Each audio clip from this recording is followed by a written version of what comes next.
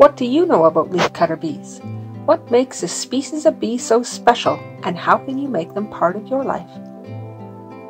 As you can see, you don't need any protective equipment.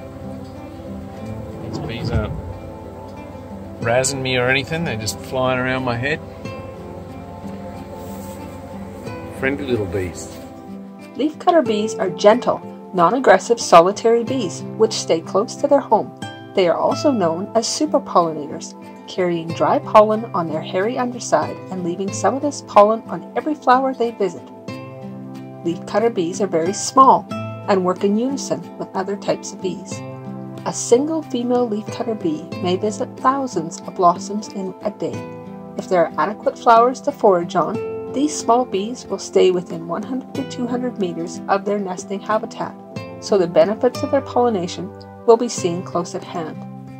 Leafcutter bees are not aggressive and do not defend their nesting area, so your kids and pets won't be bothered by these bees. This solitary species does not build colonies or store honey. Instead, they make leaf cocoons packed with a pollen nectar paste as a food source for their larvae. Backyard pollinator products are unique. When ordered online, the nesting blocks contain live leafcutter bee larvae ready to hatch, fly, and pollinate in the warm summer months. If purchased through our retail partners, the cocoons are sent separately via Canada Post in the spring.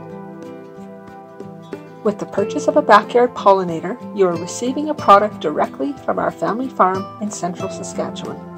In the spring months when the growing season begins, trays of dormant larvae are warmed up to begin their development.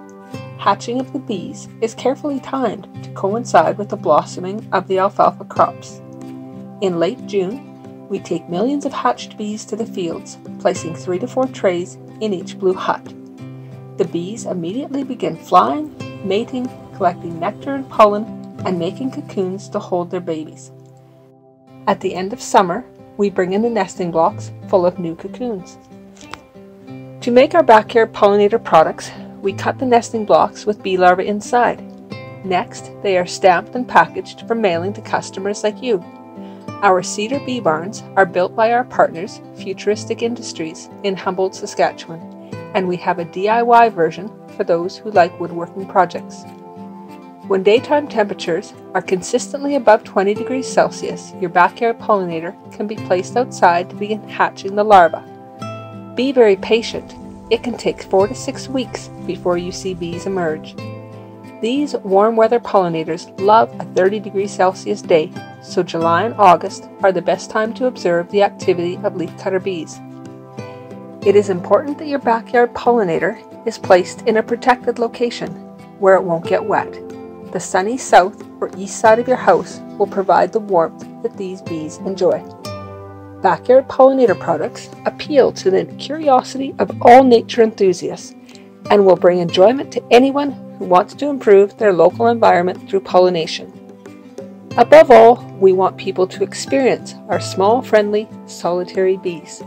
We hope you will sit, relax, and enjoy their company in your backyard. Why not try a new adventure?